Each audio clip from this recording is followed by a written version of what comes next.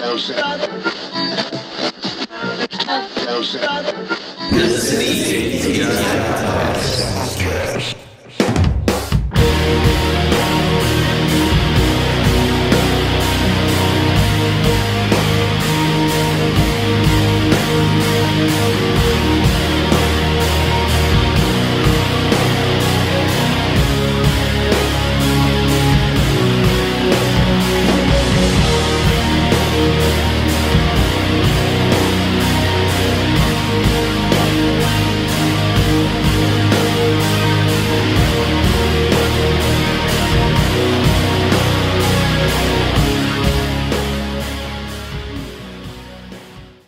everybody, and welcome back to the ATI podcast. Barrett here, Josh back in the saddle as well.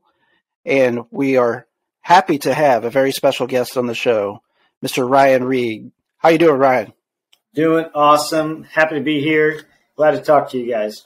Yeah, Welcome, welcome. Thanks for your time today, man. Yeah, absolutely. And I, I know that it's a little bit more grueling for you, Ryan, because you just disclosed to us you almost had a 14-hour drive uh, prior to getting set up for doing this. You're out on a fishing competition out there on the East Coast, right? Yeah, absolutely. So uh, it's gonna be a long weekend, but it's, it's fun either way. Yeah, absolutely. So what's it looking like? You got practice? Like, do you guys get to practice and you're doing like a two day and then a weigh in at the end of both days, or? So uh, I'll get practice tomorrow. Um, Yeah. All, all day. I got to be at check in. Um, everybody has to go to check in. Uh, use measuring boards in kayak tournaments, so you got to go get your board checked by the bass officials. Um, I think that's at like five tomorrow. Uh, once that's over, you can go home, do whatever you want, and fishing starts on Saturday morning at 7 a.m. After day one, you just get off the water, go do whatever you want, go home, or uh, you know, go out drinking, whatever you want to do. Yeah, And then day two, same thing, 7 a.m. fishing. Get off the water at probably three, I think is what uh, off time is, and then straight to the check-ins. So with kayaks, you, they call it a weigh-in, but it's not really a weigh-in because you don't bring any fish with you. All the Okay. fish are automatic released. So you I got catch you. them, you take a picture of them on your board that you measure with, and then you release them. So they call it CPR Okay.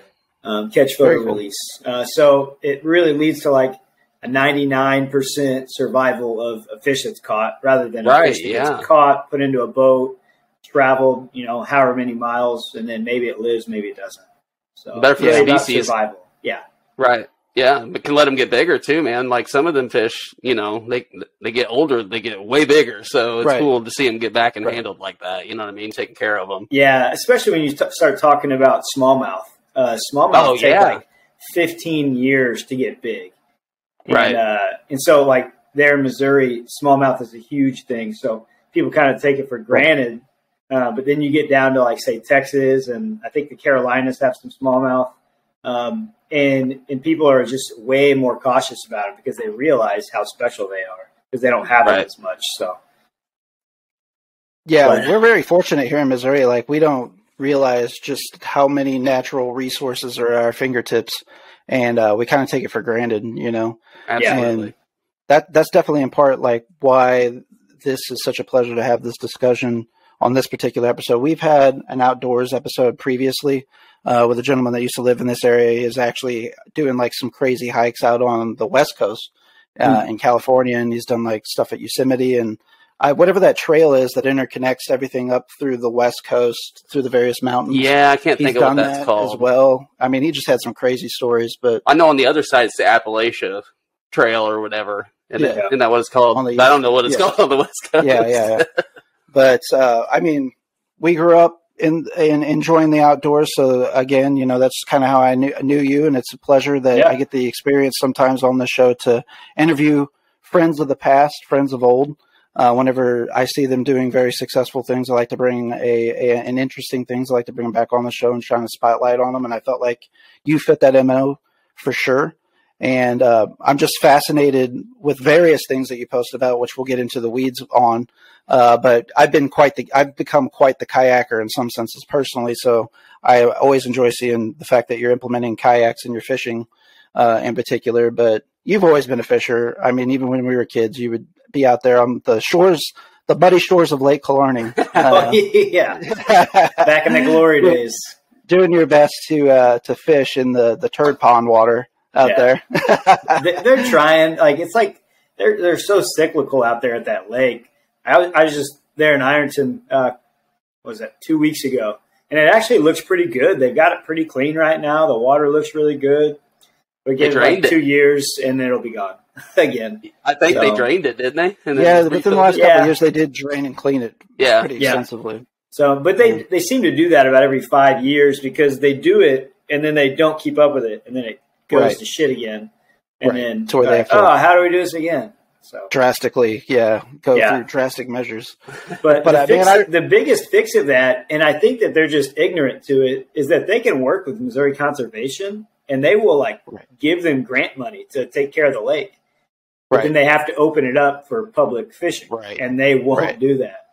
right, yeah, I live in Terre du Lac, and it's a very similar situation. Like Yeah. they have 16 lakes, but it's hard for them to manage all those lakes because of how small of a crew they have and the limited funding, which is mind blowing to me because I pay $700 a year in dues for yeah. one But you pay your dues. Some yeah. people don't. Yeah, some people don't pay their dues. Anyway, regardless, yeah, there's Same 16 lakes out out at Lake there. Killarney. Oh, and, yeah. and it's hard. It's hard for them to manage them all, but they won't refuse to let the Department of Conservation or Natural Resources in because of exactly what you're saying. It has to be open to the public. right, Yeah. right. So, Yeah, which is I mean- which is just bad. Honestly, it's bad all around. It's bad for the residents. Like, Absolutely. don't get me wrong, it's nice to have a, a private area, but what's it worth being private if it if it just goes to hell and, and Right. you can't even enjoy it? Because look at Killarney, what it was before they did this again. You couldn't put your boat on there. There was no way to motor. It was just Yeah. Everything was just bound up in weeds. right. Yeah. So, Well, It- it's funny that you bring that up because I was going to make this point whenever we were kids and we would always go out go swimming out there in the summer.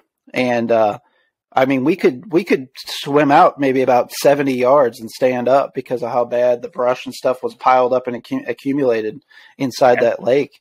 And Wow. uh, I mean, even up until I think maybe the last time I swam in it was in my early twenties. So we're talking like you know fifteen years ago now. but uh, it's hard to think it's been that long. But but yeah, it was pretty much in the same state of affairs, if not worse. But we were pretty brave back then because uh, you would Oh, see yeah. some, you'd see snakes pretty briefly, Oh, routinely out there and shit No, too. Oh no. well, All they had that they had that swimming dock there. Right. and I don't know if you remember. I think it was Andrew um, that tried to jump off of your guys' trampoline, and it slid off of the dock. Oh yeah, It that's right. I forgot about Racked that. his back on it. Yeah. Oh, Oh, damn. yeah. We did some freaking sketchy shit back in the Oh day. Oh man, yeah, Yeah. that's what that's what Killarney was good for. We had one of those little Pilates trampolines, and uh, Oh, we took shit. it down to the lake with us because we were like, "Oh, we could do sweet moves off of this thing." and Ryan and Andrew were a little bit better at like the flips and that type of stuff because I was always like the tall, awkward one. But yeah, I do remember now. Andrew, we got a good run, and he run down the dock, and Mhm. he tried to jump on that son of a bitch, and it just slid. and he, just, he slid, bam, back down the dock. He was just he was Oh, he was in bad shape. yeah, He was trying not to sell it, but man, it was Oh, rough. man. It was Yeah. a rough time. yeah, But Good yeah, times, I, I know, like, man, that's just some of my favorite memories to reflect on and stuff. Because you know, now that I have kids, they'll ask me questions about Dad. Whenever you were a kid, what'd you do? Blah blah blah. And a lot of the stories start out with me and Aaron had these friends that were also brothers across the road, yeah. and we would do this: play basketball, play baseball, go swimming. you know, we did it all. Play video games. Paintball. Uh, you name it. Yeah, paintballing. uh, had wrestling matches. And oh yeah, would they would start out kind of fake and fun, but somebody ultimately would piss off somebody else, and yeah. yeah. something egregious Yeah. would happen. Oh yeah, Uh, you get a real yeah. DDT. Yeah, for real, a real pile driver. yeah, I think it was. uh I think it was Aaron. I picked up one time. We were all horse horsing around down the basement, and his feet hit. We had that real low basement ceiling with the HVAC running across there, and it scared me because his feet hit the the sheet metal, and it had a loud boom, and I dropped him straight on top of his head. Oh, Yeah. Shit. And it, it was rough, man. Like we did some wild ass shit, breaking Oh, yeah. windows and shit, climbing up on the roofs of abandoned houses. Like oh, Oh yeah. I, I like, I, I sometimes think about like, what the, how, how, why were we doing these things, and why were were we our allowed to get away with it? Yeah, Where were the parents Well, at? yeah, really, that's that's that is often the question. Like, Yeah. Yeah. what what, were- what were our parents doing? No, Uh, I was but- just telling my my mom like maybe a, a month ago. So remember we had that pool in our backyard, Yeah, yeah. and I told her I was like, "Did we ever tell you about the time we jumped off the roof into the pool?" She's like, "No, you did what?" And I was like, "Oh yeah." so you guys were gone. We just climbed up on the roof and jumped. She's like, "It was Yeah. like four feet deep," and I was like, "It's all good. We lived." yeah. we made it. We're still here to tell you about it. That was the kind of Yeah. stupid things that we did back then. oh man, the the bad hill too. Like that that thing should have done one of us in at some point, and it never did, thankfully. But we had that huge hill that we Mhm. would go. Uh, well, eventually snowboarding down, but Yeah. we would take our sleds up there and go up to nearly the damn top of this hill, Yeah. and it was probably a good hundred yards, just a straight, you know, forty-five. Oh, yeah. Big old turkey holler. almost straight up. Yeah. Yeah. And uh, if you went down that thing in the sled, there was a ditch, and then there was Highway 72. Yeah. Oh shit! And we yeah. would pop that ditch sometimes and almost get up on the highway Oh Yeah, yeah, going that's- down that thing. and that's a sketchy little area Yeah. down there on seventy two too. Yeah. Do you So remember when Andrew up. wrecked his bike doing that? Yeah. Yeah, I do. Yeah. he fucked himself up. Andrew, it seemed like, fucked himself up more than everybody else. He, he did. He did. yeah. He was a little bit more dang- like daredevilish, I think. Danger Yeah. Aaron kind of guy. Yeah. Back then, he was pretty dangerous. Yeah. Yeah. He was kind of the first guy to like be okay with doing some shit. And I'd be like, yeah. that's fine. I'll watch you. Yeah.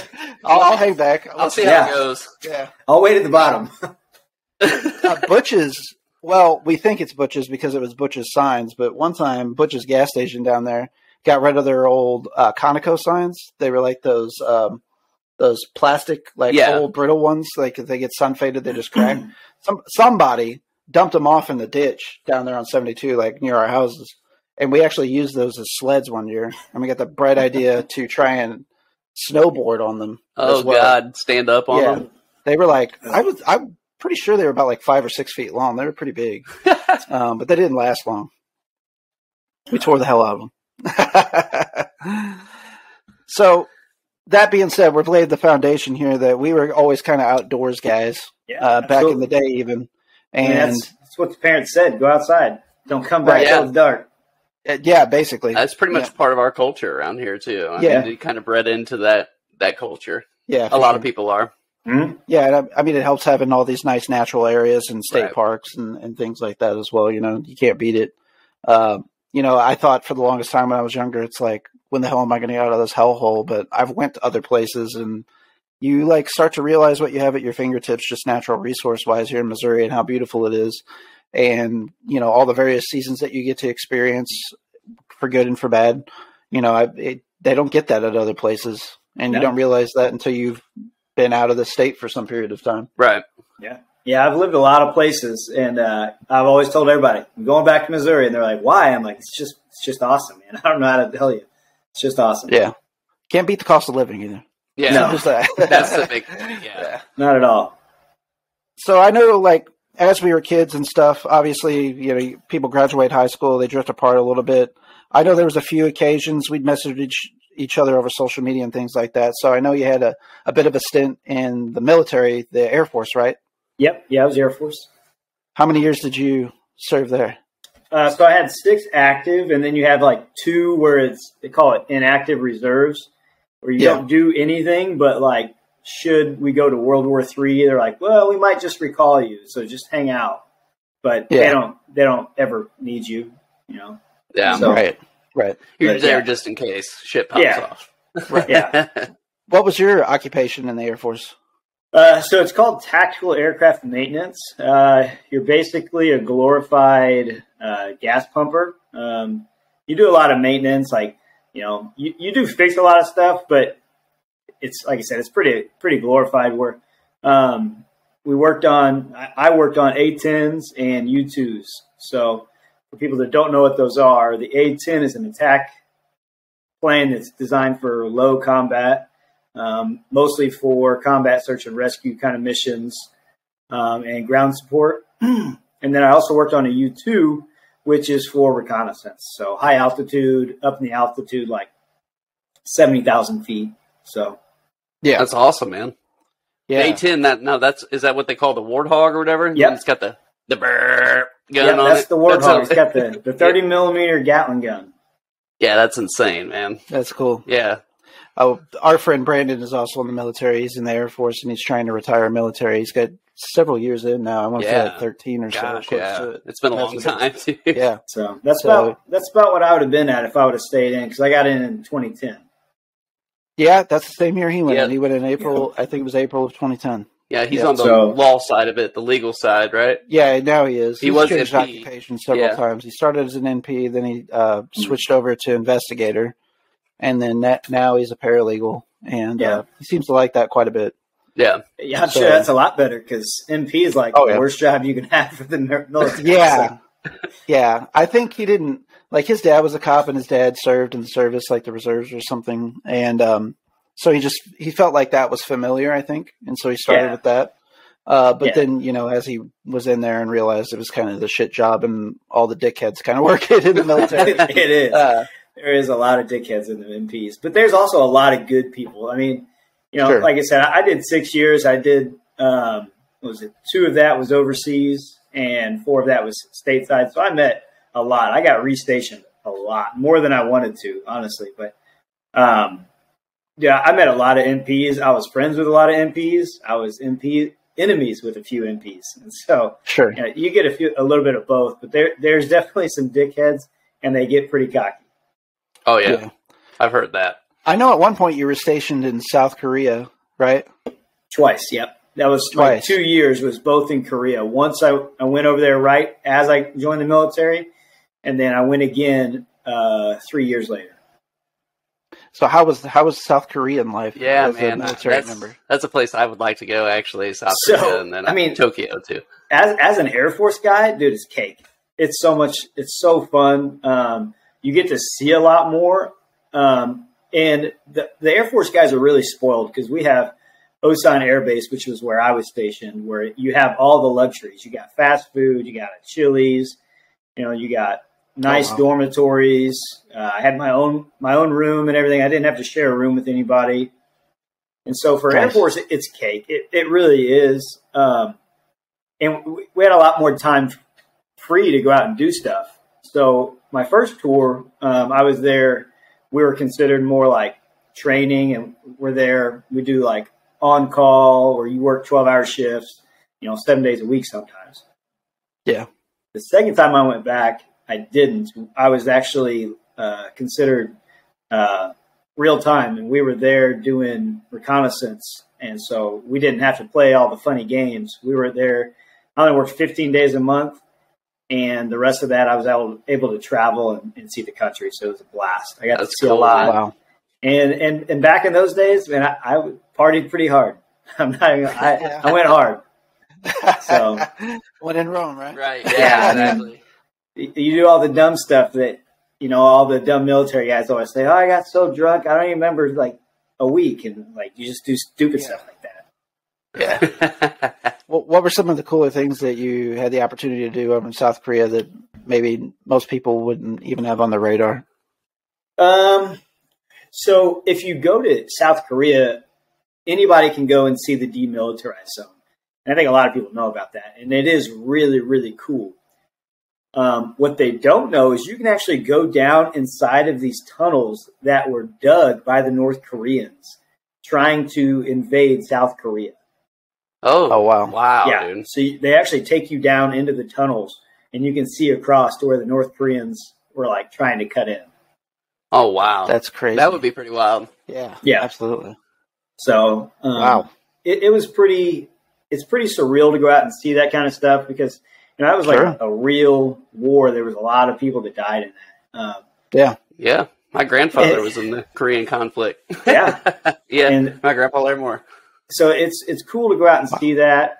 Um, but honestly, one of the more rewarding things was there's actually a lot of um, foreigners that go there to teach English because English is such a um, I don't know what the word would be for it, but everybody wants to know English over there. Sure. So, Right. because they all know that you got to have English to be business because all business ends up going through America at some point these days. sure. So they all teach English.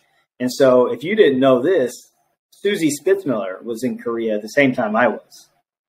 I did know that she went over to Korea, but I didn't line up the timelines or anything. Yeah, her and I were th- was there at the same time. Uh, we actually hung out a few times. She showed me some of the, like the backside of Korea that you can't see as a as a military person because they don't like the military over there. So she was Yeah. able to take me because she was a teacher and show me the like actual backside of it, where it's it's Korea, but it's not tainted by the the westernisms.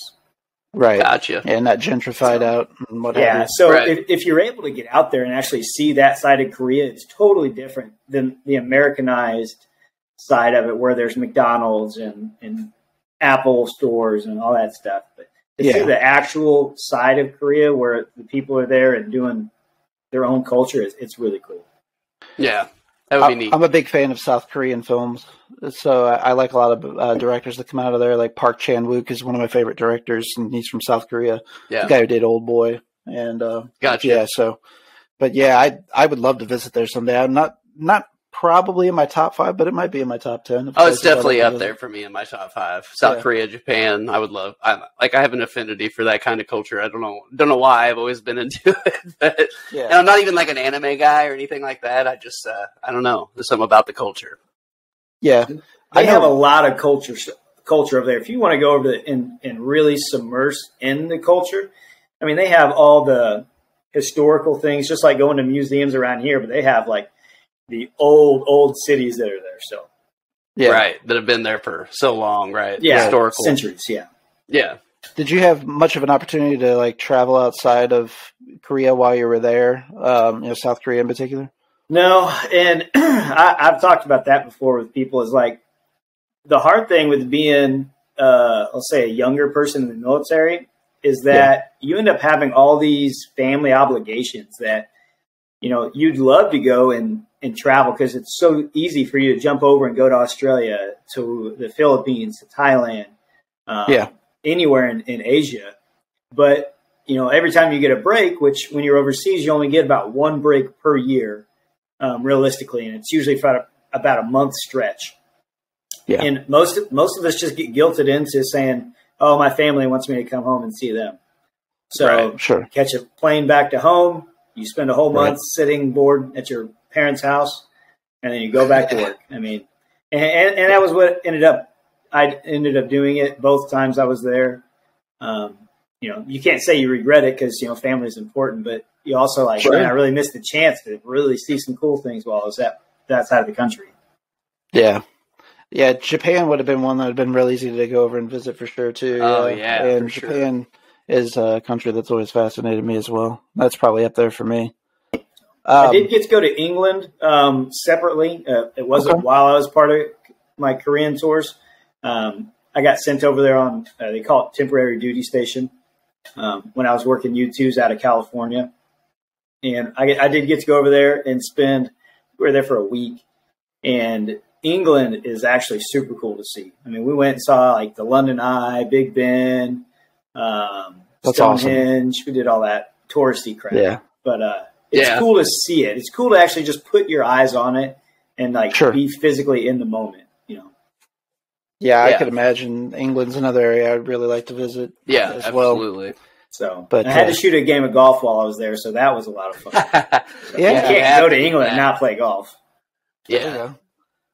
Hey, uh, I wanted to ask you too. You know, once you got out of the military, uh, what was life like for you? Were you having issues trying to figure out what you wanted to do with your life? Um, you know, career wise, or just kind of talk to me what what the state of the affairs were for you once you're out of the military.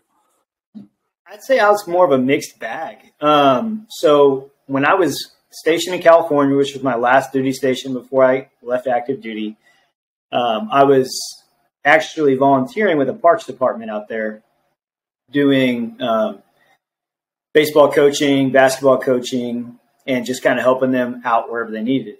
And dude, I just fell in love with it. It was so cool to be engaged with the community and seeing the, the children kind of grow up um, in doing that. And I was pretty close to Sacramento. We were actually kind of in the outskirts. I, I don't, I wouldn't call it like the hood area of Sacramento, but it was pretty rough. Yeah. Yeah, Um, and so it was really cool to get engaged with these kids that you know, didn't have a lot of the opportunities, you know, that, that I did growing up. And I saw that and I was like, this is the coolest shit I've ever seen in my life. I'm leaving the military and this is what I'm going to do. Yeah. So I, I, got out. I went back to college um, down in Branson at College of the Ozarks. There you mm-hmm. go. Um, got a recreation degree, and people laugh at that. They're like, "What the hell is a recreation degree?" I'm like, I went to school to have fun. Like that's all it was. Like I went to school to learn how to play sports. Every sport you can imagine, we studied it. You know. Yeah. And and obviously you got to do the boring stuff like the history of it and all that. But um, sure. And so I got a degree in in recreation with a, a business minor in that.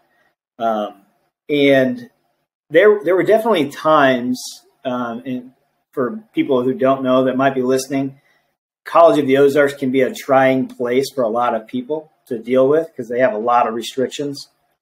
Um, and being a 20, you know, late 20 year old in college there with mostly 18 to 22 year olds was very challenging. And yeah. so I was like, I had days where I was like, this sucks. Like, I'll just get out, go back to the Air Force, do my 20, and retire. Uh, but obviously, I stuck it out. I didn't ever go back. And um, right out of college, I got a job working in recreation.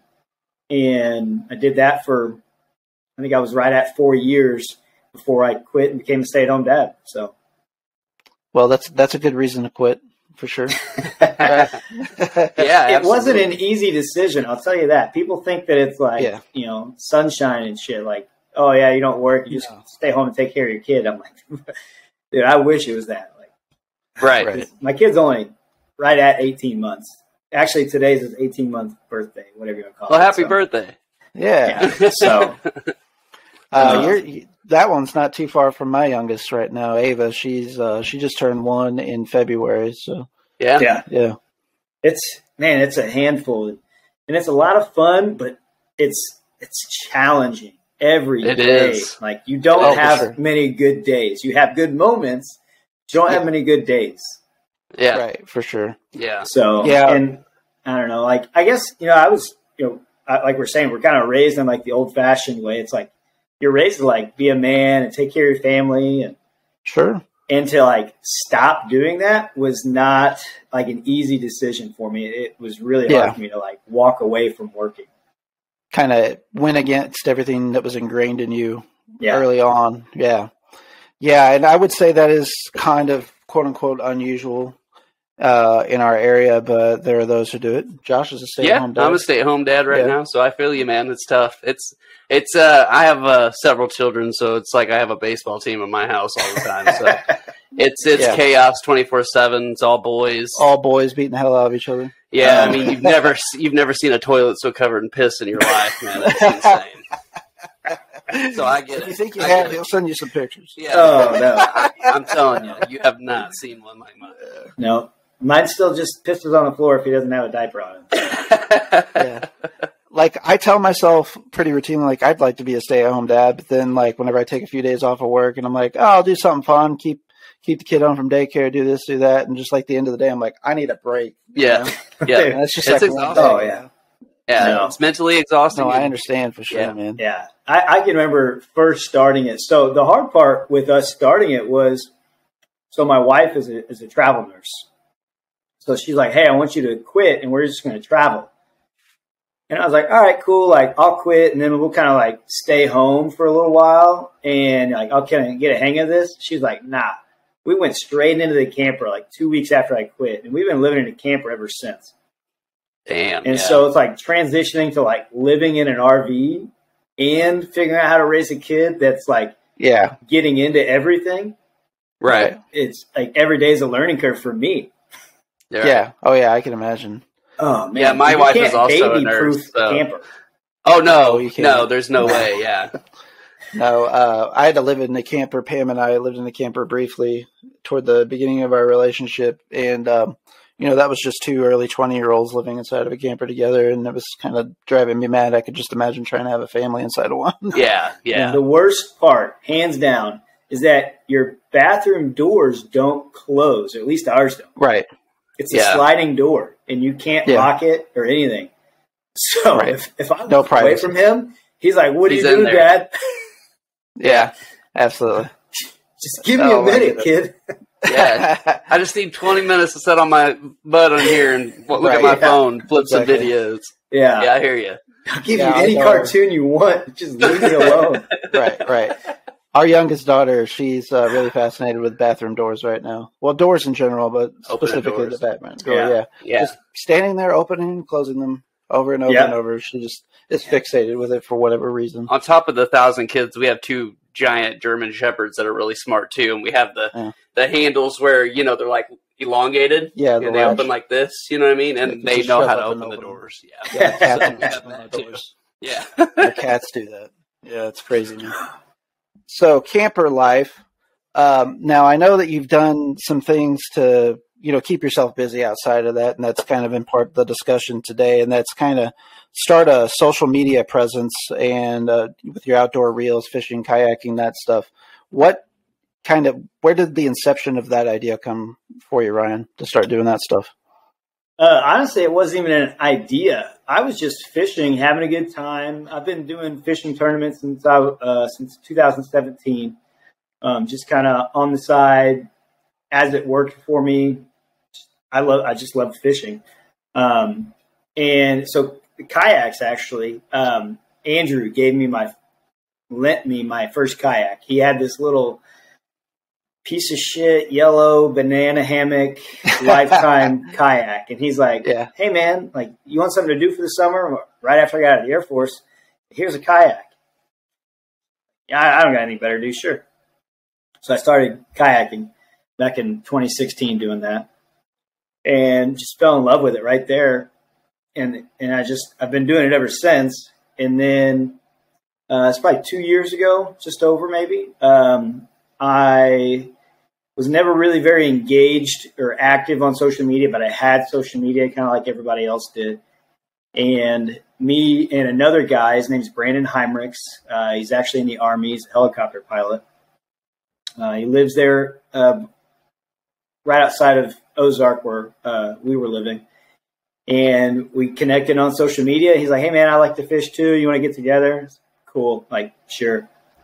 And so we got together and he's like, Oh yeah, he's like, I like taking pictures and like I'm doing social media and I was like, Oh, that, that's cool. Like you do you, like I'm just here to have a good time and fish, man. Right. So we would go out and he would take pictures and he'd send them to me and I'd be like, Well, I got these pictures, I might as well post them. So then every time we'd fish, I'd post some pictures and it just kind of evolved from there to where we have trips now where we're like, hey, like we got to go out and shoot some content, and you know we'll we'll focus. Like we try to not let it like consume an outing, but we'll Right. spend like a dedicated thirty minutes trying to like just video because people like to see that raw stuff. Like they don't always want to see the really pretty. Every time Right. you caught a fish, they kind of just want to see people on the water doing these things. And so we'll just video the other guy just cruising around on his kayak doing his thing. Yeah. And uh, we'll just take turns every once in a while. And then we'll just be like, all right, like we, we took quite a bit of raw footage. Now let's go fishing. And, and uh, hey, if you catch a video or picture of it, then awesome. But um, we, we try to not let it take away from the fishing aspect of it. For sure. I know, like, too, well, actually, funny enough, I kind of got into kayaking about the same time, about 2016, I started kayaking. My brother in law had some kayaks and they bought some private uh, land down near Rolla. Uh, they kind of live like Salem, Rolla, Rolla ish area.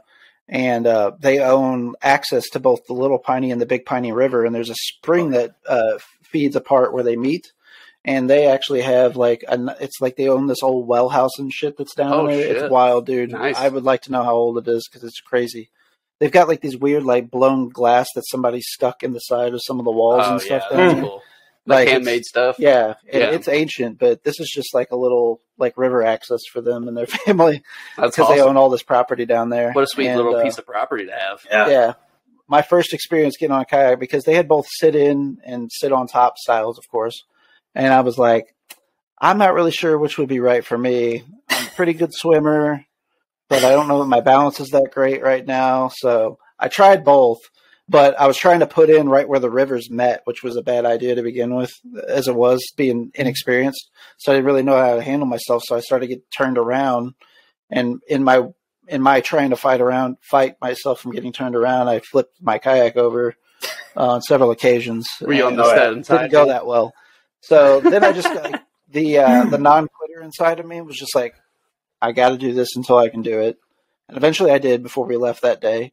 And then I just like was obsessed after that. Like Yeah. I had to have my own kayak, you know, do it at my leisure, that sort of stuff. So And they're crazy now. These kayaks that they're Oh, yeah. making, like these Oh, Hobies, yeah. they have like the paddle kayaks, and like I seen one the other day that you can put a freaking Dewalt battery on it, and it's like I guess like a screwdriver, and you can press Yeah. squeeze the trigger, and it propels you. You know what I mean? Yeah. Oh, it's yeah. like that's pretty wild. You can recharge the Dewalt battery, and, and it's just the, crazy. The cool thing is that you can get as advanced or beginner as you want in a kayak. There's there's every Yeah. level you can imagine. right, right, yeah, yeah, and especially at first, I didn't. I mean, I guess I should have assumed that that was the case, but you know, you just you know what you know, Right, So right. like around here, access to kayaks, even though being the area that it is, was actually kind of limited at the time, even then. But I've noticed like inventories have skyrocketed since. Like Yeah. even Walmart of all places yeah. They keep has like fifty plus kayaks on hand yeah, basically from spring to fall now. And uh, you know, the quality of said kayaks and variety has increased pretty you know, Oh, yeah. decently over time as well. yeah, Even Yeah. places like Tractor Supply has kayaks in stock now. Right. You know, in these areas, which honestly is smart because we get a lot of tourism down here in southeast Missouri. A lot of people going to you know do the Jack's Fork thing or the float trips or whatever the case is. And they're they're weekenders, but also at the same time, it starts to become a passion, and they'll buy their own kayaks and then try to go to other Yeah, places. they'll frequent spots. Yeah. Right. Mhm. But uh, you know, I, I got a pretty decent little Pelican kayak. Um, the fishing aspect of it, though, is something I wanted to get into with you, Ryan, because I've never been a very good fisherman. I really didn't have the patience for it, even whenever we were younger. Uh, if I didn't, you know, and it would be pretty common, like me and you and Andrew, or me and Andrew would be out fishing, and he'd catch three fish, and I wouldn't catch shit, and we'd be standing ten part ten feet from each other, you know. And I would just get so impatient about, oh, I can't catch no fucking fish. Let's go. I'm gonna go shoot the basketball now, you know, or Yeah. something, you know. Something, Yeah, yeah, that- something that I can. I just didn't have the patience for yeah, it. Um, yeah. but you know, Josh is more so the fisherman than I am, so he can probably speak in on a lot of that stuff more so than I can. But uh, I, I will say that I can tell you that I know this, and that is. Uh, obviously, you have to have good balance to be able to do that while you're kayaking. as Oh, well, yeah. I give it to you, what the kayak. kayak is. I give it to the kayak fisherman, man. That's that's like doing three things at once. yeah. And on top of that, you know, whatever the water conditions is, the swiftness of the current, and and those sorts of things. So, yeah. um, you know, initially, whenever you started kayaking, was immediately fishing a part of that, or did you get the kayaking down and then started doing a little fishing? Like, Yeah, it what was kind of straight to the fishing. It was it was Yeah. straight to the fishing. Um, obviously, like you said, we we grew up fishing, so I had fishing poles at home. Um, I got that uh, kayak from from Andrew. I took two little ultralight spinning reels, went down to uh, Thompson Ford outside of Fredericktown, and that's where I started, right there at Thompson Ford. Uh, a great little spot to drop in, do some fishing. Uh, pretty minimal current, and Yeah. just the smallest baits you can imagine. Just having no idea what I was doing. Just those little Rebel Craws. You go to Walmart. Oh, yeah. Yeah, those are great And- and cheap too.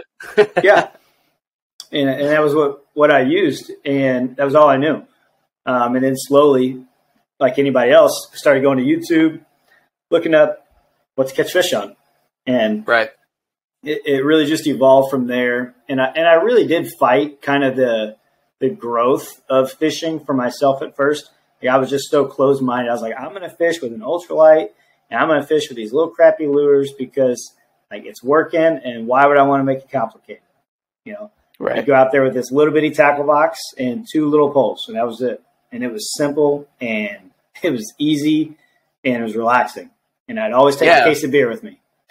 Yeah.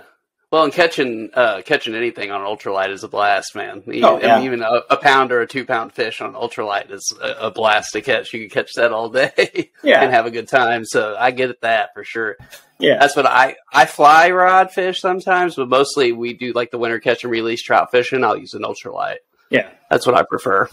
So I do a little bit of fly fishing. I don't. I'm not a great fly fisherman by any means. Oh, I'm terrible. Um, and I've never caught a trout on a fly rod, but I do a lot of smallmouth fishing with a fly rod, and that's a lot of fun. Yeah. I have heard a lot of people doing that. Like, um, they have a Joachim run up here. Like, uh, it starts up in DeSoto. Like, there's a Joe Joachim Creek access, and that's like a trophy smallmouth rehabilitation area. And there's several guys that fly fish up there for smallmouth, so that's cool. Hmm. Yeah, Can you imagine catching like a four pound smallie on on a fly rod, man. They're river species. It's crazy. It's nuts. Biggest I've ever caught was like a probably a pound and a half smallmouth. So, and it drug me all over the place because Right. you're on a fly rod, so you have minimal control over what he's doing.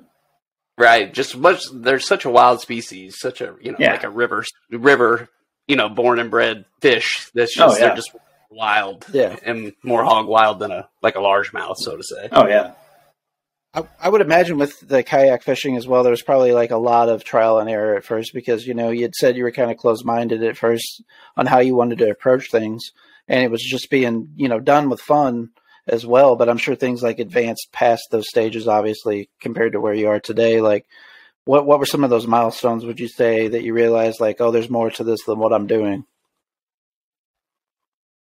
Uh, so for me, uh, let's see. So I had that little crappy kayak, and then I got to college, and I was like, okay, like I really want to take fishing more serious. So I went and bought my own fishing kayak from Bass Pro Shops. It's an Ascend Sit Inside FS10. Like I'm here to, I'm, I'm going to get serious about fishing. This is a good time, and I started fishing out on Bull Shoals anytime I wasn't in school. And so I would go from there, um, from school straight out, go fishing, and I was just get my ass kicked. I didn't know what the hell was going on because it wasn't a river. It wasn't easy. Yeah, Right. And uh, I remember coming back to the dock one day, and this old man's like, "Oh man, did you catch him today?" And I was like, uh, "No. What about you?" And he's like, "Oh yeah, we got like thirty fish today." I was like, um, jeez, "How do you catch these fish?" yeah, Like what And are so you doing? He he told me he's like, "Oh, you got to throw a Ned rig." And so a lot of people these days know what a Ned rig is. Back then, it was kind of like a newer bait. And I was like, just show me what it is. And it's like, oh, it's just like this little hook with this like little crappy worm on it, like a half of a worm. And I was like, okay, that's simple enough. And so I went and I bought some of these hooks and I started cutting worms in half and just started catching the hell out of fish. And I was like, okay, this is a lot of fun to like learn new things. yeah, And, and from there, it was just like, okay, what can I learn next? And so I, I learned a little bit more, and then I was learned a little bit more, and then I was like, okay, now it's like time for me to challenge myself and start trying to do tournaments. So then I did my first tournament in 2017 with the Moyak Fishing Club. Uh, first tournament was on Stockton Lake, if I remember correctly, and just crappy rain, windy, Ugh. but just conditions. caught the hell out of fish. We just ripped them up. And I couldn't even tell you what place I finished, but I'm sure it was crap. But I had so much fun that I was like, okay, this is like the coolest thing ever. Like I'm going to fish tournaments for the rest of my life now. Yeah. And uh, and it's just from there, you know, it took me a little bit more to get fully dedicated to it because of finishing college and everything, and uh, Sure. working through the summers. But then as soon as I finished college, like I was, I don't think I've missed a, a season since. I've always running almost every single event in the season, and it's just it's a blast, man. And that was really the turning moment I think for me in tournament fishing was that that one tournament that was just the crappiest you could imagine, but just had so many fish catch that it was just it changed my changed my life with tournament fishing. for anybody that's not familiar with it, what does a tournament season look like? A typical tournament season? Uh, so in Missouri, um, every state is different, um, especially in the South. Like they'll run tournament season almost all year long. Take like maybe a two month break. But in Missouri, we just kicked off um, the the first official event was the Taney Twenty. Um, that was two. It was like I don't know March first. I think is what it, or April first. I think is what it was. It was like right at two weeks ago. Yeah. Um, and that was the first event of the year. So it typically starts right around the beginning of April, and the last event will actually not be until typically October-ish timeframe. Um, there'll be a tournament every single month for the for the local trails, and then there's also river trails that run kind of side by side. So they'll make them offset to where they'll never interfere with a, a, tr- a regular lake tournament, so that you can have the opportunity to fish both. And I mean, local trails are usually pretty simple. Uh, it's typically people that if you don't know already, then they're super friendly, willing to talk to you, teach you kind of the ropes, and it's really treated as a community. And that's kind of like the thing that draws more people, I think, into kayak fishing is the community over what people call the glitter boat world, which is, you know, the actual Bassmasters, the FLW, BFL, Right. all the, the really big tournaments because a lot of those tournament guys are really kind of kept close. They don't want to talk about what's going Yeah. on. They, they're just there to kind of like win. Yeah. Whereas Yeah. the kayak world is way more friendly. Everybody wants to kind of just hang out, drink beer together, and catch a bunch of fish. And so the community aspect of it is really what grew the sport to where it is now, which is it's really kind of catching up in the world to where you know Bassmaster is running a series. Um, you have the Hobie Bass Open series also. There's the KBF, which um, that's a that's a whole different wormhole to get into right now. But um, but specifically the Bass and the Hobie series is growing, and and when I talk about the growing aspect, I talk about the the media and the advertisements. So it opens Yeah. a lot more doors for the people that want to do it seriously, but still want that community because a lot of the kayak guys still treat it as a community. And you get out on the water and everybody wants to be friends and talk, and, and it's still a lot of fun. But there's a lot Yeah. more money in it now. Yeah, well, you are seeing uh, some of those professional anglers too jumping ship. Like, I, there's one that I follow who's one of my favorites, it's Mike Iaconelli, and he's been Yeah. a glitter boat fisherman like for a long time. He's won the classic. 20 years, yeah. Yeah, um, now he's doing kayak tournaments, and he's Yeah. you know, and he's one of them. He's he's kind of like you, you know, in the sense that he's one of those ones that will actually get on the screen and talk to people and tell people or you know give people advice and stuff Right, like that. right. So yeah, Yeah. it's cool to see. It's cool to see, Yeah. you know, that has drawn some of those guys over to it too. Yeah, they're definitely making uh, making the, the slow conversion for some of them. Um, so, like very specifically, uh, we fished Guntersville, Alabama, maybe a month and a half ago, and uh, Greg DiPalma is a Bass Elite Series fisherman. Came fished the event, won the event with like his second day ever in a kayak. Oh my god. Yeah, He's like, "Oh, this is like my second, third day on a kayak, and uh, you know, I'm just kind of winging it." And I'm like, Yeah. "Well, yeah, like you're winging it on a kayak, but you know, you know what you're doing. Like, come on, yeah. Right. Them guys are so knowledgeable So- about it. They live Yeah. and breathe it, man.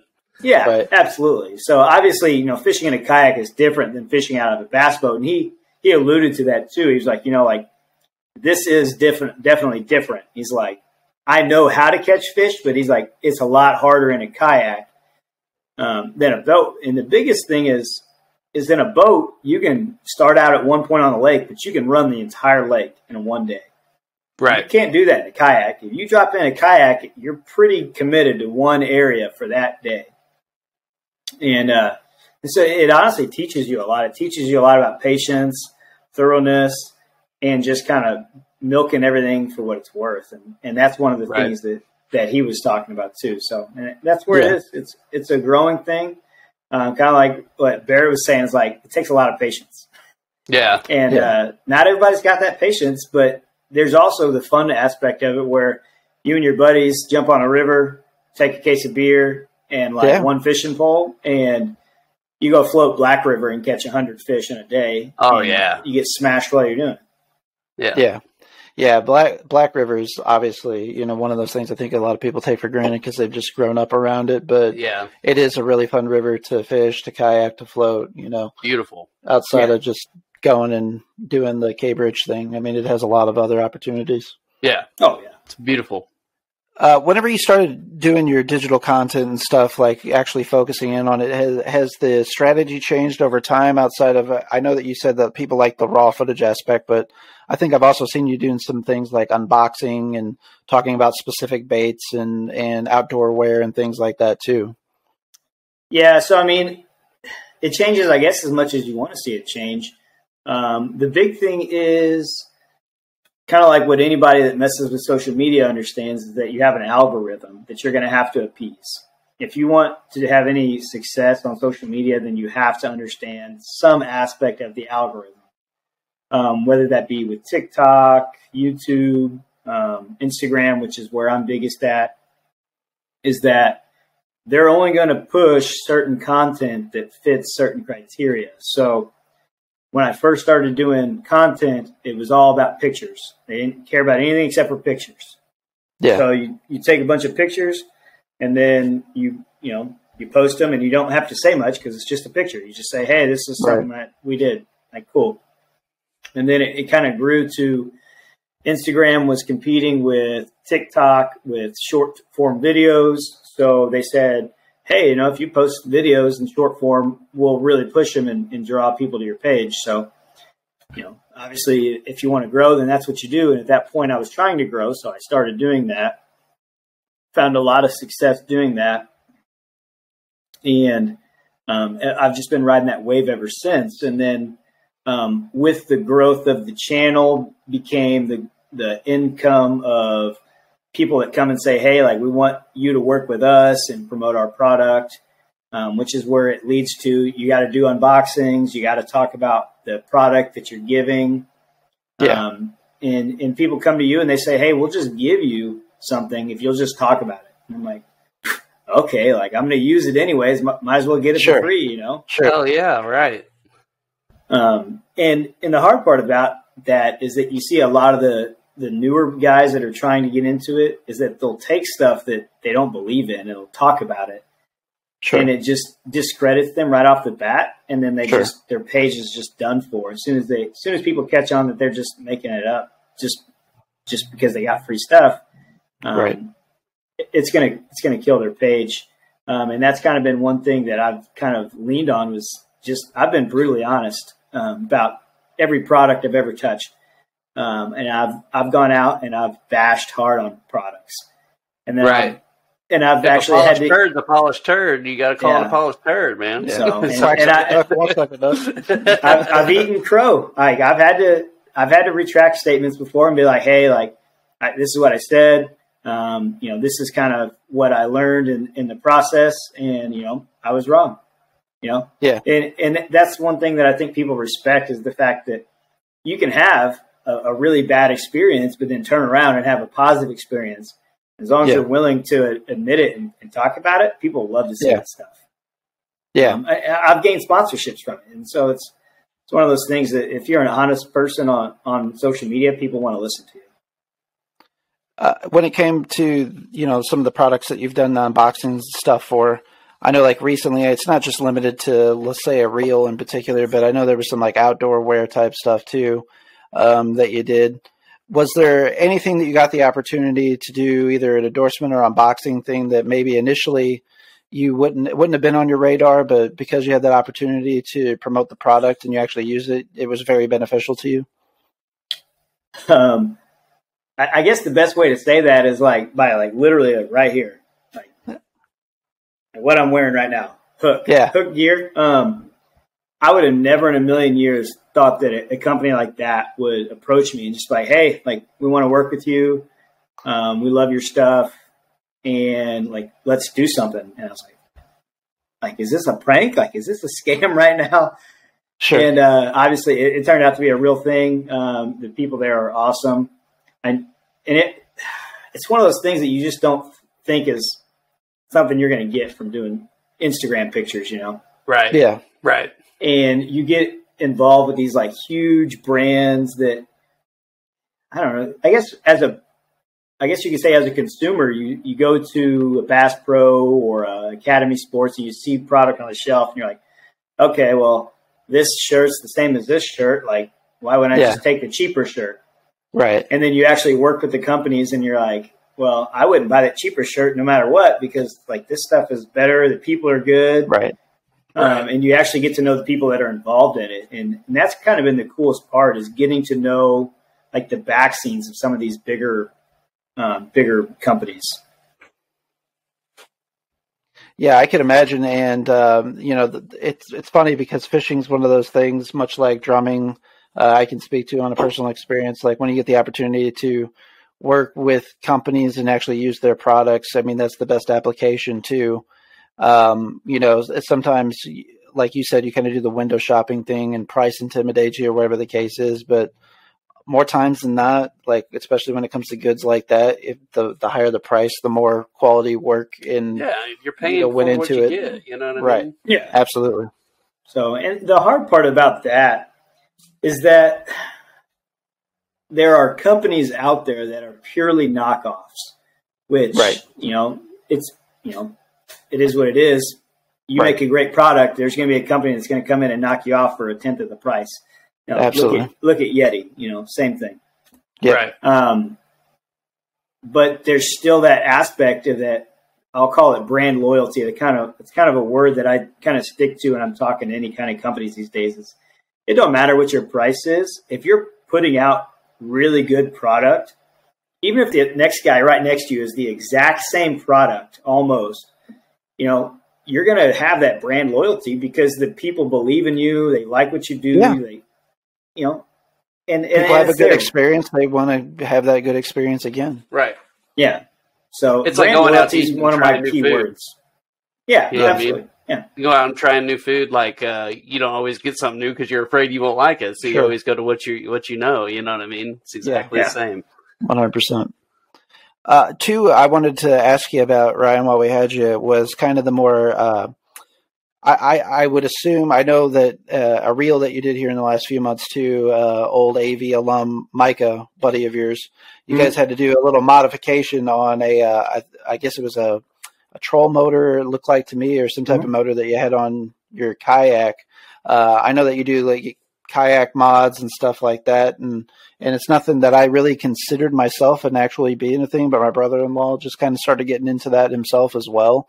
Um, can you kind of talk about that that game and what that looks like? If people are trying to get actual um, motorized mechanisms for their kayaks and stuff like that.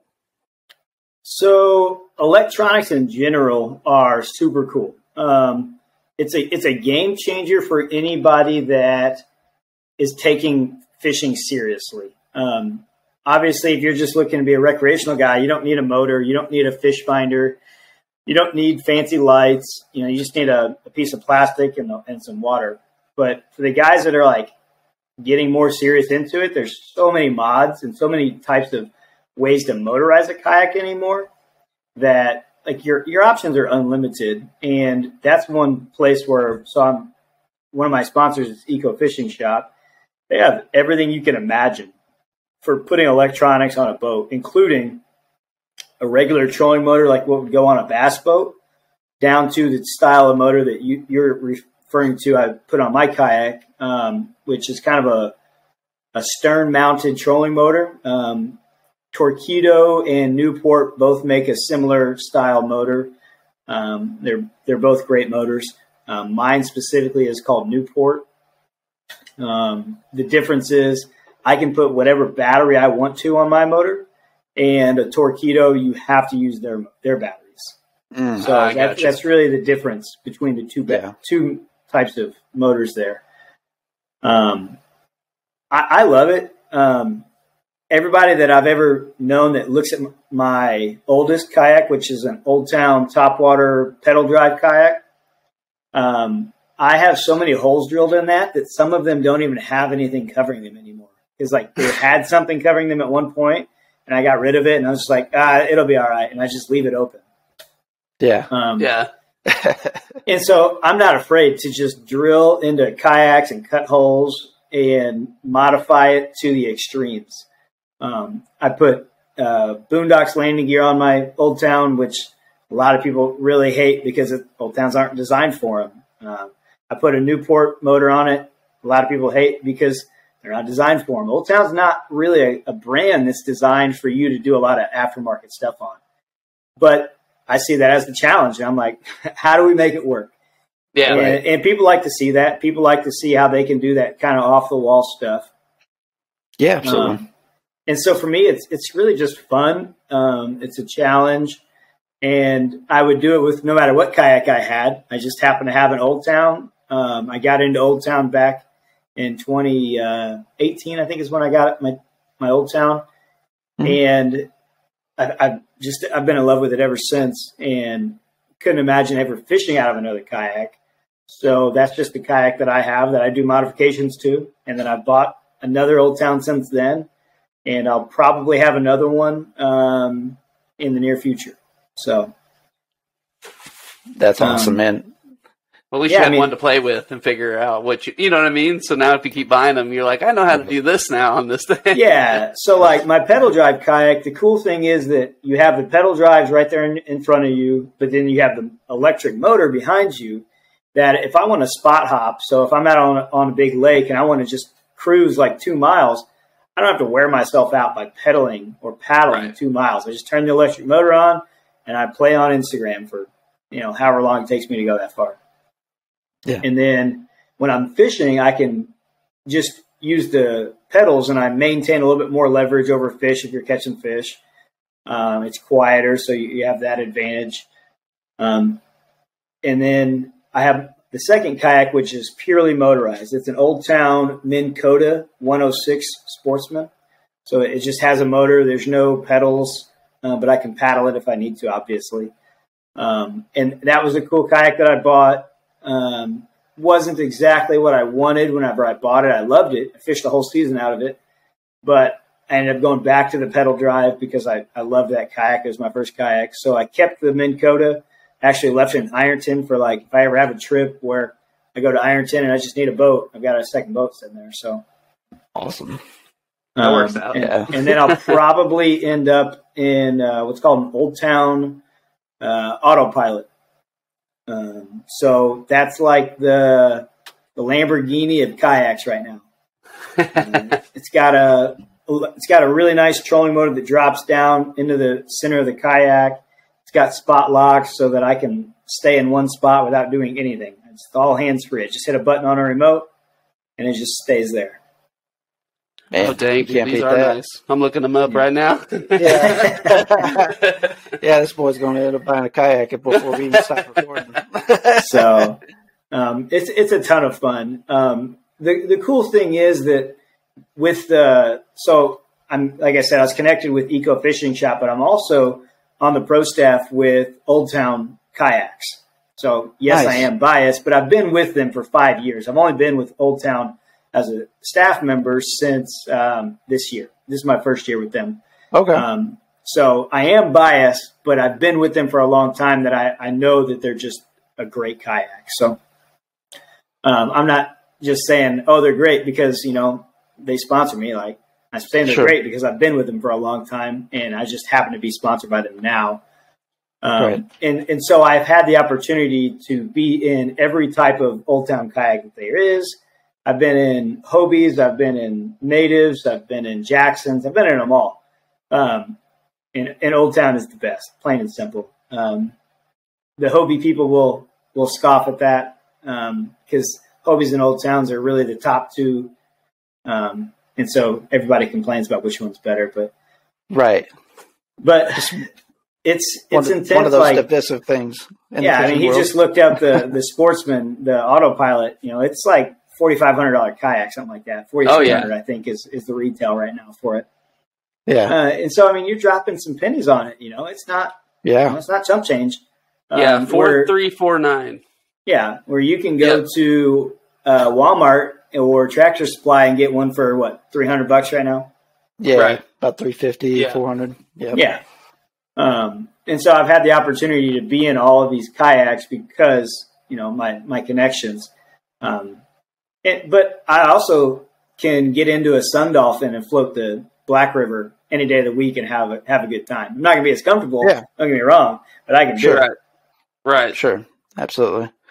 Uh, one thing, let's say somebody's watching the show for the first time, they're kind of overwhelmed with some of the information that we've presented, but they do have an interest in getting and starting in kayak fishing in particular. what are some key essentials that you would say is a good starters pack for a beginner? You know, it doesn't necessarily have to be the highest of end products, but stuff that you feel like that you've had some experience with maybe or experience adjacent that this would be a good starter pack for somebody. Uh, so let's just go super basic then. So the first thing anybody is looking at, into getting kayaks, uh, whether you're um, you've been around water a lot, you need to get a, a, a life jacket, a PFD, plain and simple. I, I, don't care how long you've been swimming, you don't know what's going to happen on that river. Um, maybe once you've had a few trips, you know, I'll say maybe you can relax a little bit um, and not wear a PFD. Um, I, I, I cringe to say that because I wear a PFD every single trip, no matter where I'm going.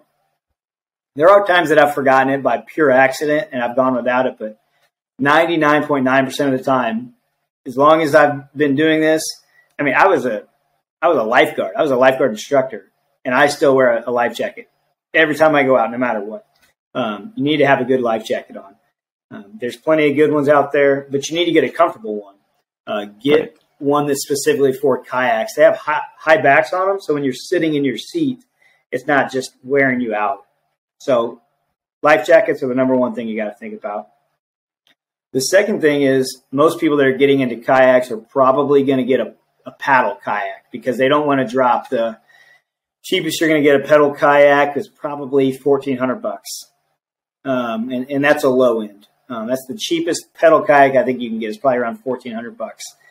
Um, whereas like we're saying, you can go get a lifetime for, you know, 350, 400 bucks. So a lot of people are going to start there, which is great. Great place to start. Pick one that's got a good seat in it.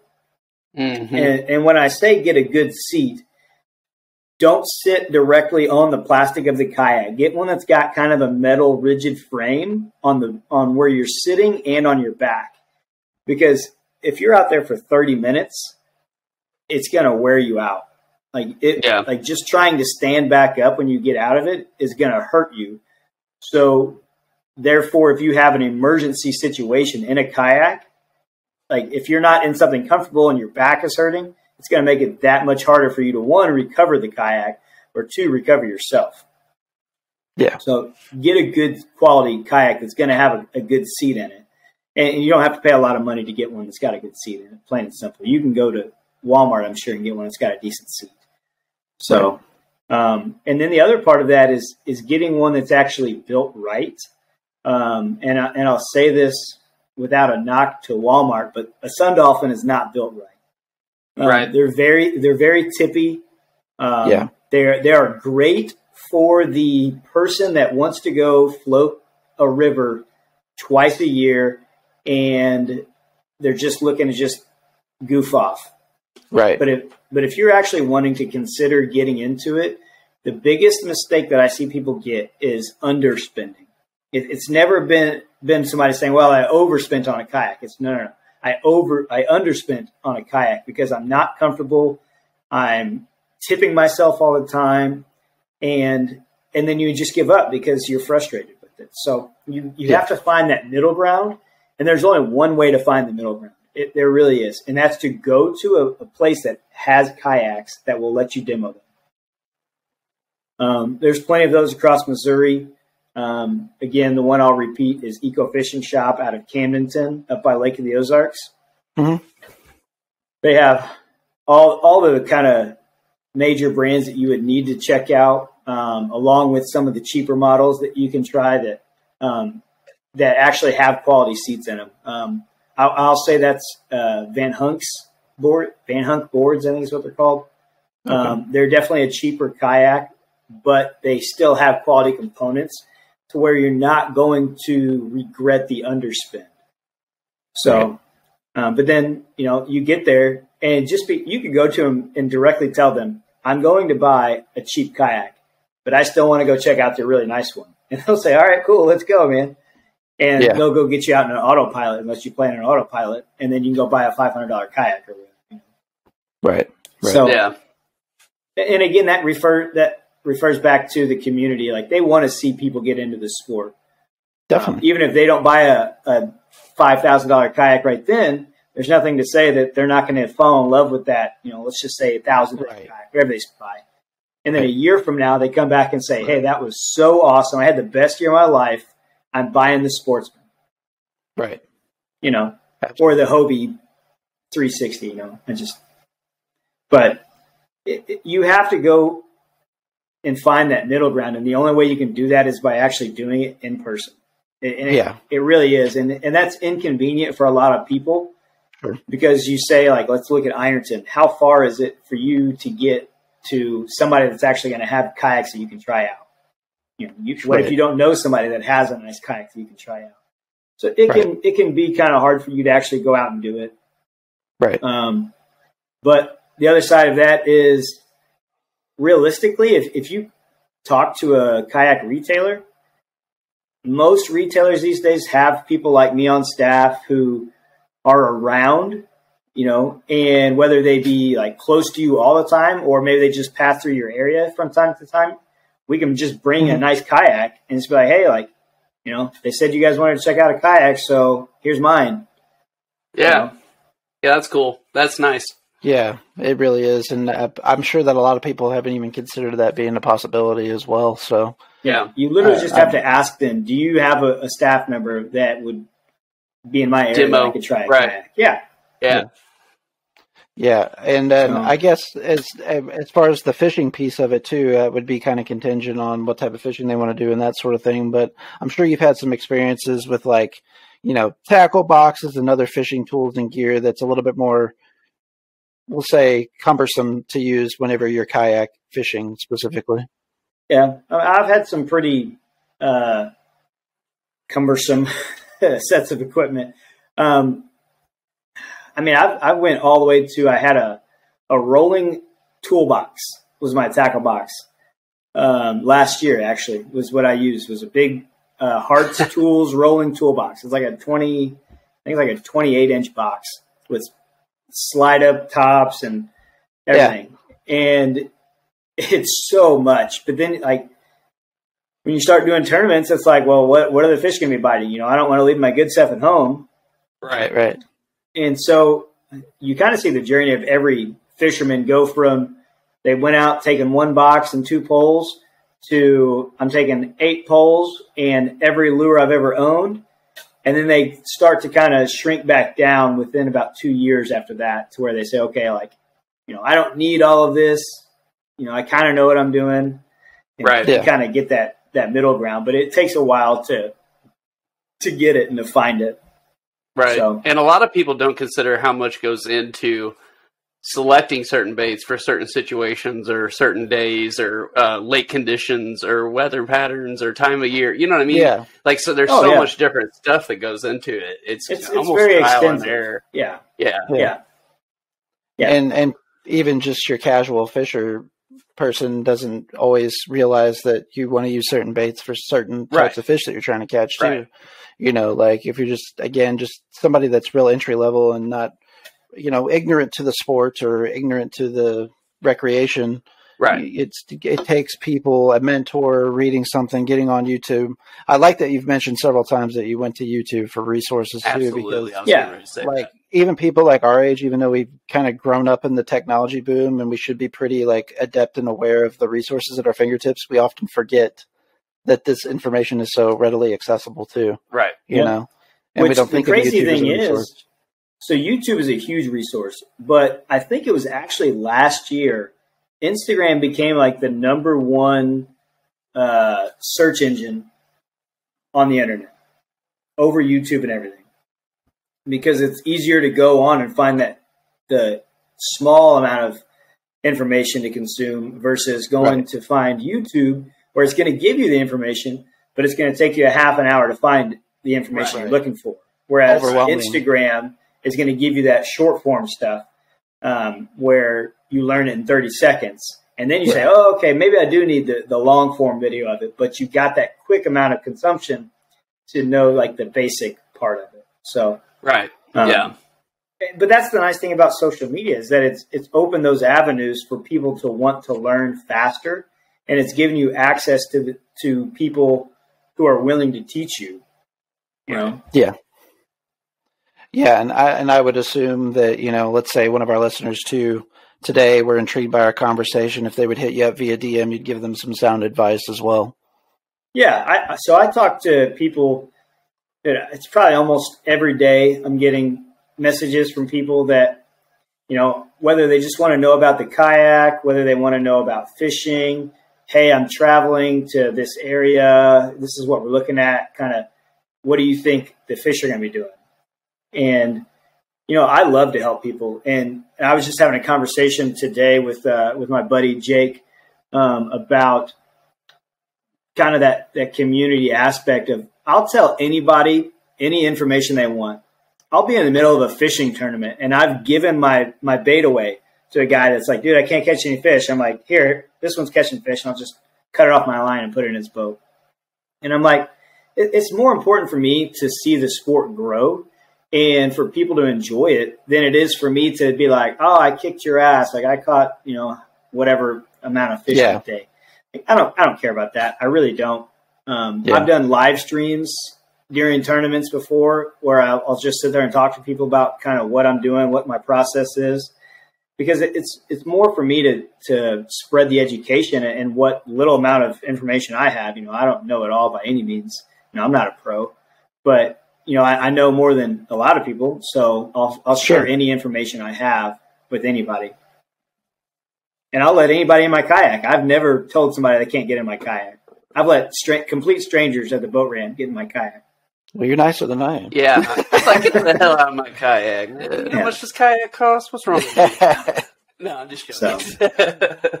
Uh, I, Josh and I actually have a mutual friend who it, it, was very out of character for him, though. It's just kind of a sunny, funny sidebar uh, he all of a sudden got a he wanted to get a sit on top kayak for whatever reason. He was like, I'm going to go fishing with this guy. Had never been in a kayak in his life, nothing.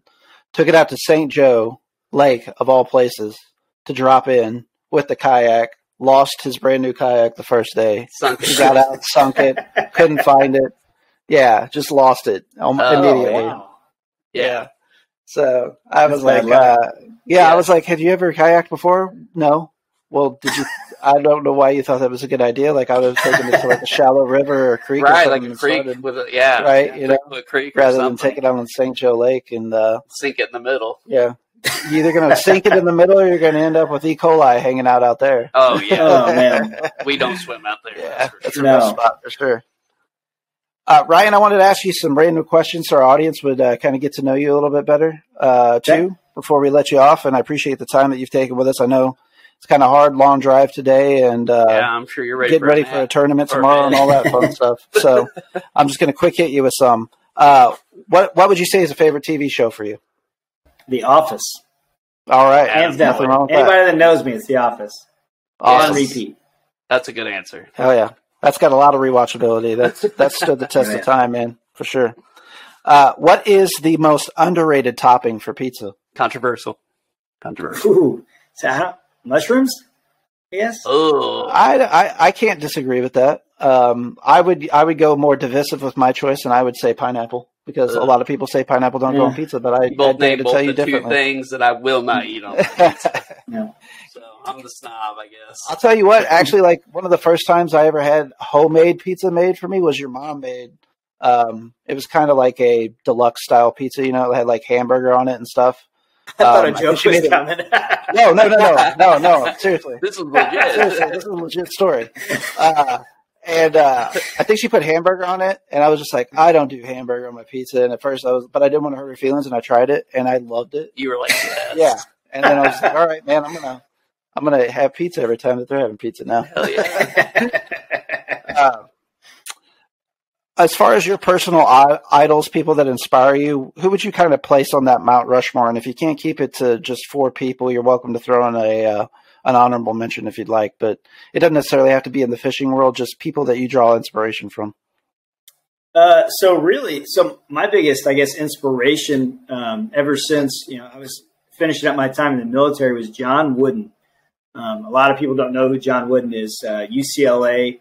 Um, great legend of coaching. He's inspired just I couldn't even guess how many people he's inspired in his time. Um, just the way that he impacted the sports world and the people yeah. outside of it, just in being a good human being. Like that, that guy changed my life without a doubt. Yeah. Um, and he was dead He's before I impacted a lot of people. started reading his books. You know, Yeah. um, he's just that great of an individual. Um, on the fishing world, uh, let's talk about Gerald Swindle. That guy is, Oh, yeah. uh, is a hammer. Uh, dude can catch fish no matter what, but he's also just this super awesome personality who is funny, but he gets real with you and he cares a lot about people. So I love to see that kind of stuff. Um, I'll, go- I'll go mopey for a second. I'll say my dad. Um, I love my dad as much as um, as much as a man can love another man. Um, you know, for people that don't know, my dad adopted my brother and I, and the the stuff that it takes for a man to do that is just beyond words. And he has just always been there to support us. Um, and so, like, I've just got so much respect for him as a man that Mike's the man for sure. yeah. Uh, like Love I just guy. try to learn from him all the time, and I'm like, man, I just teach me. And he's like, oh, you're teaching me how to be a dad. I'm like, I'm not doing that. What are you talking about? so he, he's just one of those people. He's just great. Um, and then the other person is actually my, my fishing buddy that I was talking about, Brandon Heinrichs. Um, he's another guy that's just taught me to just love people. Um, every day, that guy's just, he loves people. It doesn't matter what they are or what they do to him. He just chooses to love people. And that's just kind of been a way that I've um, been trying to leave, live, lead my life. And, you know, he's one of those people. And that's why I think him and I have been so close for, for the years that we've known each other. It's just because, you know, he's just that kind of good person. That's awesome, man. Uh, this this one I'm intrigued to hear from you because I, I noticed you use a lot of various types of music in your reels and stuff, which I enjoy because I have a eclectic taste myself. But uh, what would you say is an es- essential tracks for your fishing trip playlist?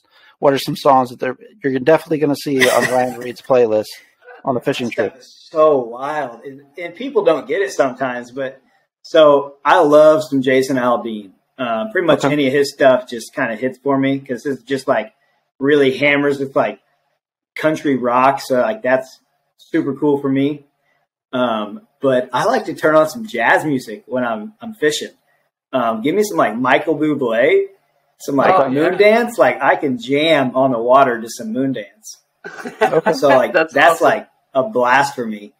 But then I'll turn on some like Five Finger Death Punch and just hardcore screamo stuff. And- Yeah. But like I have to have a mix, man. I can't I can't Yeah. settle into like a genre for an extended period of time because it'll just kind of lull me into boredom. Yeah. And so like I need to get like all over the place. I need it to be like some country rock, um, to like some some screaming to Michael Bublé on a saxophone, you, you know, jamming. Yeah. Hell yeah. Yeah. Nothing wrong with that. Nope, not not at all. And uh, variety is always a good thing. I have a river playlist that I've created slash party playlist that we play every time we go to the river, and I put it on random. I mean, we'll never be able to get through all of the songs. I have so many songs on there, but it's got everything from Three Six Mafia to Tom Petty. Oh, on yeah. it. I mean, it's just got quite, quite the uh, collective Oh, mix yeah. of music. No, So yeah, no, it, I, I like that Grillz is coming back. I've, I've Yeah. heard that song a lot lately, which is funny to me. I, I have not, but uh, I can see it because there's been a few like mid 2000s rap songs and stuff I've started to notice. that Well, Nelly come even back. Nelly's been Nelly really popular bit, yeah. locally on the radio lately. Yeah. Yeah, yeah, for sure. Well, Ryan, hey man, you've been so generous with your time. I appreciate you taking the time out to do the show. Absolutely. And as you can hear, the lovely, or may not be able to hear the lovely train in the background. I live right next to the the train track here. The Uh, nine o'clock train. Yeah, the the the Beelman truck, trucking company is uh, basically in my backyard. So there's that. Uh, it adds a little uh, mood to the to the setting of the podcast at times. Yeah.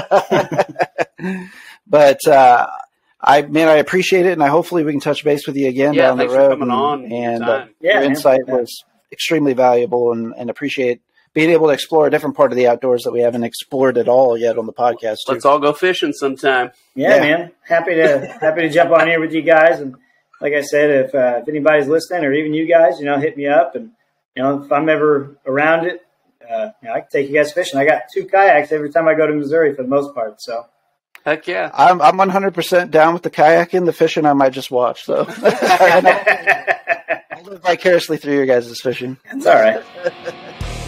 This is Barrett from the ATI Podcast. Each week, Josh and I discuss current events, pop culture, music, TV, movies, politics, sports. Nothing is out of bounds. You can also tune in to learn about rising artists, small businesses, whether it's music, graphic design, filmmaking, or even a brick and mortar mom and pop shop. We will be spotlighting folks and their endeavors. Listen to us on Spotify, Apple Podcasts, Google Podcasts, Amazon Music, Anchor, or anywhere you enjoy your podcasts. Just search ATI Podcast. We would like to thank you for your continued support, and as always, please stay safe out there.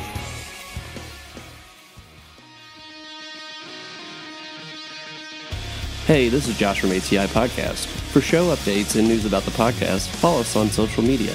You can follow us on Facebook at facebook.com slash ATI Podcast 22, on Twitter at podcast underscore ATI, on Instagram at the ATI Podcast, on TikTok at ATI Podcast. DMs are always welcome.